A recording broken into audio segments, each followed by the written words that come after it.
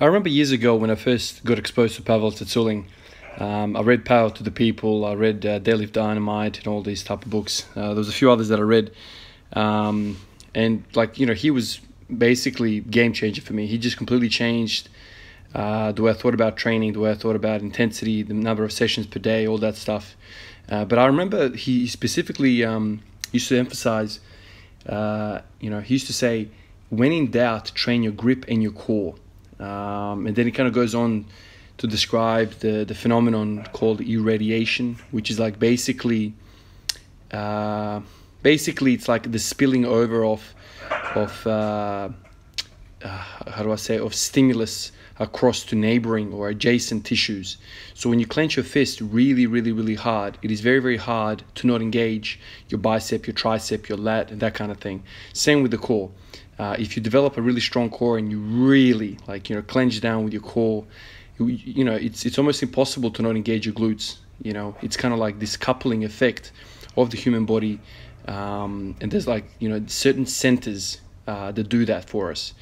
Um, so he used to say, when in doubt, when you hit a plateau, when you don't know how to get out of something, just go back to training core and uh, go back to training the grip. Because those two things kind of basically then you know spill over to all the other tissues and you'll kind of get stronger that way.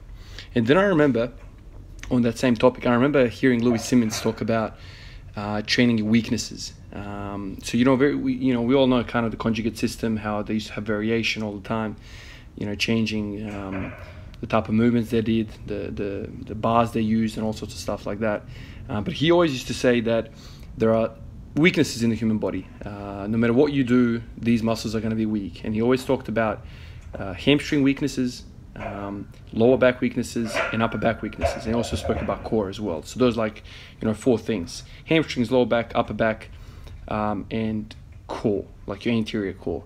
Uh, so when I when I take these two things together, I keep thinking to myself, you know, I, I, I think sometimes we overthink performance, human movement, biomechanics. We overthink this stuff. Um, and I know we, we get caught up in, I mean, certainly I do think about you know, squatting this rep range, that rep range, uh, all these different modalities of how to kind of go about squatting. Um, but maybe what's really happening here is that there are certain weaknesses that are basically the rate limiting step, um, if I can use that chemistry, um, you know, saying.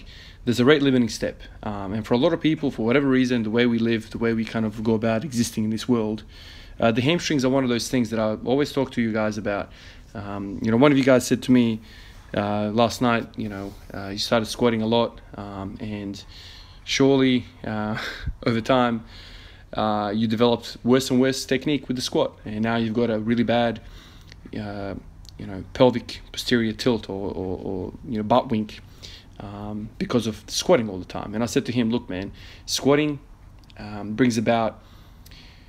Uh, tightness. You know, there, there's certain prime movers in the human body, and for you, probably as a result of squatting, your adductors, hamstrings, and glutes have kind of gotten tight, and now you, you've lost hip flexion. So I said to him, you know, go back to stretch a little bit and whatever. Um, but there's like a recurring theme here. Um, wherever I kind of look around, there's always like a few muscles that are that are kind of limiting our performance. Um, rarely do I do I do I think to myself, okay, this man needs more quads if he's squatting every day um, or if you're squatting a whole bunch. So the muscles that you know, I guess Pavel Tsatsouline and, and Louie Simmons always talk about, there's a there's a carryover there, right? Um, so you know, what am I thinking right now?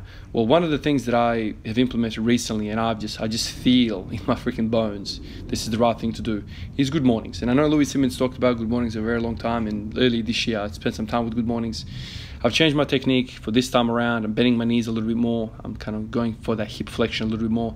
Last time I had kind of straight legs, and I was kind of feeling that sharp sensation, that burning sensation in the back of my leg because of the sciatic nerve, because of the fascia. I think it's a little better on the hamstrings if you kind of have the soft knees and kind of keep your shins vertical. Really hits the posterior chain really well. Um, but yeah, so it hits the hamstrings like you wouldn't believe. Hits the glutes really well, and it also works out your your lower back muscles, the erectors, isometrically. Um, so just through that one movement, I'm hitting a weakness or weaknesses that Louie Simmons always spoke about. Um, and so, you know, in conjunction with that, also need some front anterior core work. So, you know, I've got the um, the hanging leg raises now, the hanging knee raises, and the sit ups and whatnot. Um, it's just really interesting to me, you know, uh, I know we all kind of want to do the big stuff. We all want to do the squat. I'm speaking for myself. If I could just get away with just squatting, you know, eight hours a day to improve my squat, I freaking would, man. You best believe, man. That's exactly what I want to do. That's exactly what I have fun in the gym for. And I've said to you guys in the past, like I, I find a lot of this other stuff boring. Um, going through 10 sets of 10 of anything other than squats, I find it boring. Um, but now I kind of like I'm thinking to myself, I've said this in the past. Maybe I should kind of get comfortable being bored because the rate limiting step for all of these movements um, seems to be uh, some of the stuff we talked about. Start with the hamstrings. Really working your hamstrings. Like with the squat, I know you know a lot of people say, "Oh, the squat's not you know that big on hamstrings." Man, it's your knee health, it's your hip health. It restores everything. Um, if your hamstrings are really tight, you, you know you're gonna get out of that anterior pelvic tilt, and when you get out of that anterior pelvic tilt, walking around in everyday life, you're going to get off your front foot or your toes because when we are in, in that you know severe lordosis, severe uh, uh, anterior pelvic tilt, our weight shifts forwards onto, onto our toes. And what does that do? Well, if you're walking around like me, you know, 12 hours in ED and spend all that much time on your toes, what's going to happen? Your Achilles, your, your calves are going to get freaking jacked up, right? It's just that much tension through that particular joint is going to just tighten it up. Um, and then you come around to squatting and you're like, Jesus Christ, I have no dorsiflexion at all. So it's all kind of intertwined, it's all kind of connected. Um, this is why I think, you know, hit your weaknesses, try and progress your weaknesses, try and pick up the best um, movements for these weaknesses. Good morning is a fantastic, it's my favorite one now for hamstrings and glutes and lower back. Um, I've got hanging knee raises now for the anterior core. Um, if you're if you're into bench pressing, man, look at your upper back. You know, they always say upper back is the key to bench pressing.